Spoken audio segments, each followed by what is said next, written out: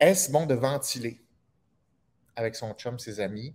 Comment ne pas vomir la situation plate qui vient de nous arriver? Est-ce OK de revivre les émotions ou de raconter le tout avec intensité? Comment se confier sans écœurer notre entourage? Moi, je trouve que c'est est vraiment intéressante, cette question-là. Parce que des fois, quand on, travaille sur différentes habiletés interpersonnelles ou sur soi, on veut se développer, on se dit une bonne personne développée ne devrait pas faire ce genre, de comportement-là, ou si je communique bien, je ne devrais plus faire ça. Et ce n'est pas exactement comme ça. Alors, je vais me servir de cette question-là pour élaborer sur un point. Bon, ventiler, OK? Je vais me permettre une description, une définition libre de ventiler, c'est-à-dire, tu prends quelqu'un, tu fais, bon, toi, là, je vais tout te dire ce que je veux te dire et ça va me faire du bien juste de chialer. OK? Est-ce positif? Alors, oui, ça peut. Il n'y a rien qui indique qu'il ne faut jamais faire ça. Parce que dans la vie, il y a des émotions, il y a de l'impuissance, il y a de l'insatisfaction. Et euh, quand on souffre seul, c'est très dur. Donc, au moins, quand tu chiales à quelqu'un, tu ventiles, ben, pendant ce moment-là, tu n'es plus seul. Si la personne t'écoute, bien évidemment, si elle ne t'écoute pas, ce n'est pas, la même chose, ça va rehausser l'impuissance, ça va empirer les choses. Mais supposons qu'une personne dit Bon, qu'est-ce qui se passe? Et là, tu ventiles. ben, c'est une partie de stratégie court terme pour réduire l'intensité des émotions, l'impuissance à court terme parce que tu as l'impression, un, de briser la solitude, OK, et de ne pas te sentir seul, ce qui est, ce qui est une stratégie court terme pour diminuer la souffrance ou l'impuissance. Est-ce un problème? Ce n'est pas un problème. Ce n'est pas du tout un problème. Le problème, c'est la surutilisation de ce qu'on appelle ventiler tout le temps. C'est-à-dire qu'il y a des gens qui ne s'en rendent pas compte parce que ça devient leur façon de fonctionner habituelle, c'est qu'ils travaillent à se soulager de leur impuissance constamment en se servant des autres. Donc, un, ils, imposent leur, ventilage, leur ventilation, leur chiolage euh, aux autres. Donc, un, ils l'imposent. OK? Donc, il y a une façon de l'amener qui, doit être fait. Puis souvent, ces personnes-là ne font pas ça. C'est comme, ils se pluguent sur quelqu'un et là, ça part. Ça, ça ne crée pas le meilleur impact parce que la personne se sent prise en otage. OK? Je vais revenir là-dessus. Donc, il y a des personnes que c'est leur stratégie principale de, de ventiler à court terme. Mais le problème, c'est que ventiler ne peut pas être la solution principale. Ça ne peut pas être euh, uniquement ça la stratégie pour aller bien à moyen puis à long terme. Ce n'est que court terme ventiler. Puis encore là, on peut le faire. Il faut être conscient, par contre, que euh, ce n'est que court terme. Si tu ventiles, et là, ça te fait du bien, bon, et là, il y a une fin. OK? Parce qu'il doit y avoir une fin. Tu ne peux pas ventiler à l'infini.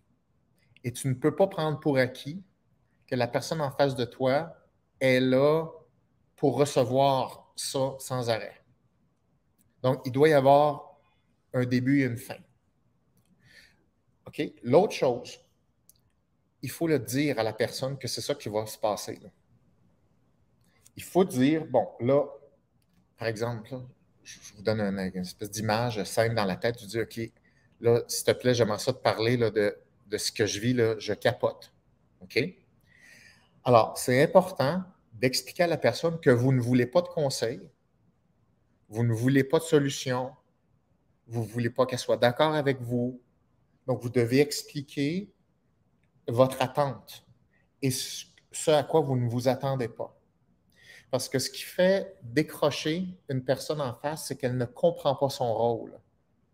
Et cette confusion-là fait en sorte que pendant, pendant qu'elle vous écoute, vous déversez ces émotions-là, un, c'est des émotions négatives.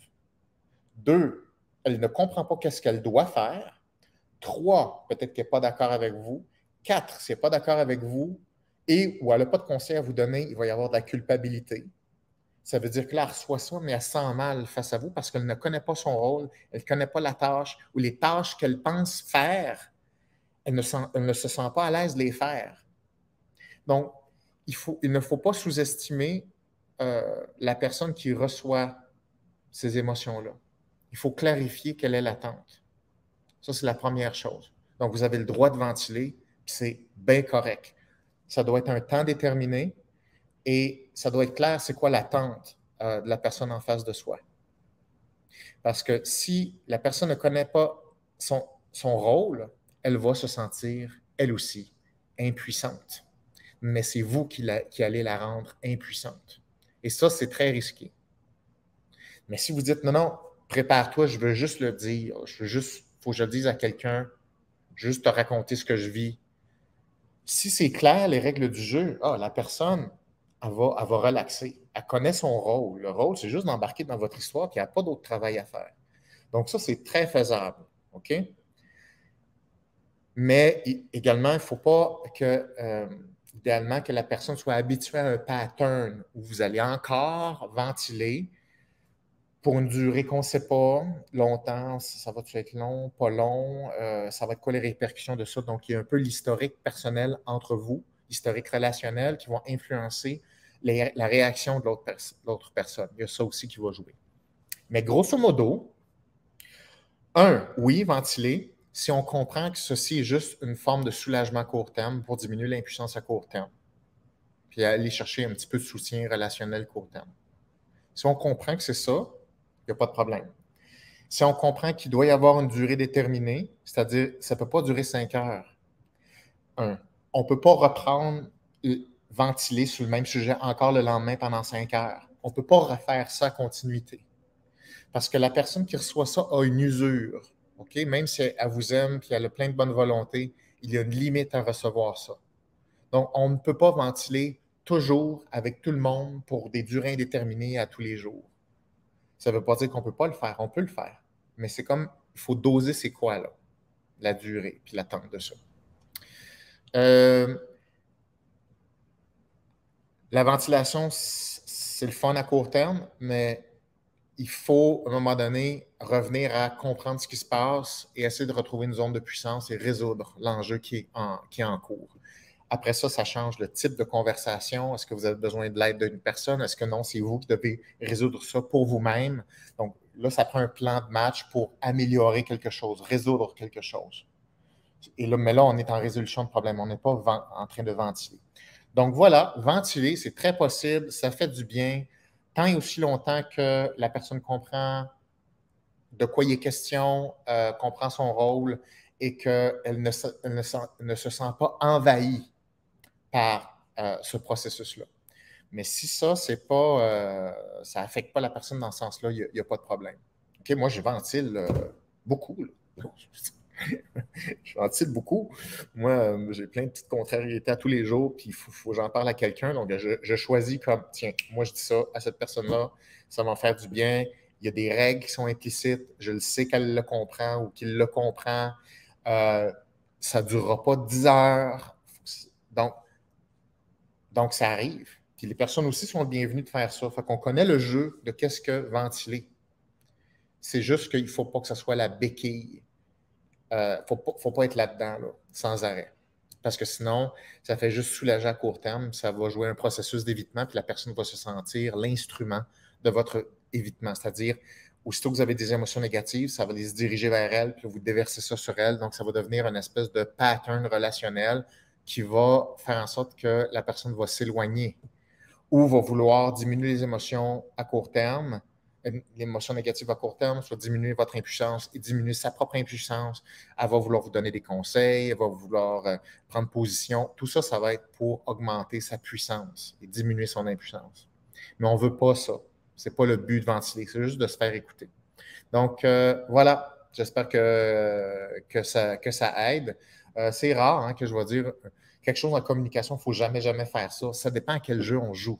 Si on joue ensemble au même jeu, d'habitude, on est déjà en bonne posture.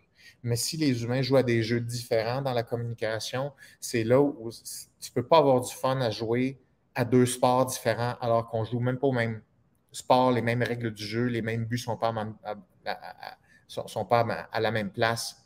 Donc, euh, voilà. Merci pour cette belle question.